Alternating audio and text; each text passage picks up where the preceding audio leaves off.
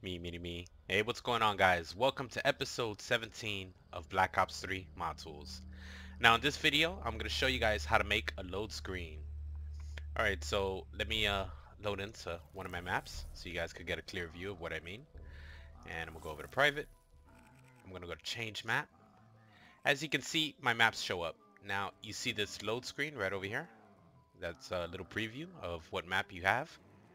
Now, if I scroll down to one of mine, as you can see, I had a load screen for my map. I shouldn't have pressed start. Alright, but uh, you know, that's how you do it.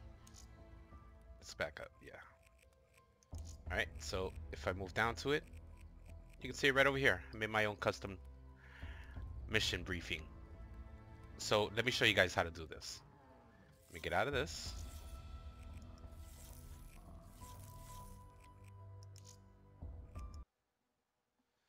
Alright, now you're going to need a program either of GIMP or Photoshop, I believe, to do this. Any program that's going to make a PNG for you.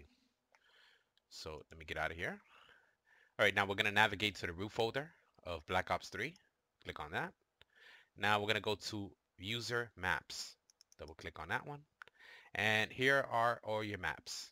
Now, whatever map you're going to be making a load screen for, you know, just go into that folder. As for me, I'm going into They Live. There we go. Now, over here are your files. You're going to go into zone, not zone source, zone. Double click on that. And over here, you're going to see loading image and you're going to see preview image. So what you're going to do is you're going to open up GIMP. All right, it's cool. Now, just drag the image over to it, over to this little box. You don't have to do anything to GIMP. There you go. Now, when you toss that file into GIMP, it's going to show up as a white screen. Now, I already made my own, so that's why it looks like this. But when, when you do it, it's going to be completely white. You know, just mess around with the tools. You know, you can paint stuff. You can add photos. If you're going to add a photo, of course, go over to Open as Layer. And then you can add your own photo in, modify it. You know, if you're used to GIMP or Photoshop, you should be right at home. And then once you're done, hit File and hit Override Preview Image if that's the one you picked. And then it'll override it, give it the new picture that you made. And you can also do it to um, to um, loading image. And that's my uh, loading screen.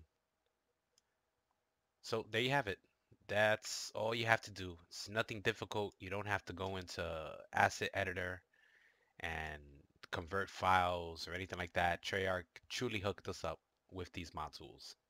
So if you liked the video, hit that like button, subscribe, and I'll see you guys in the next one.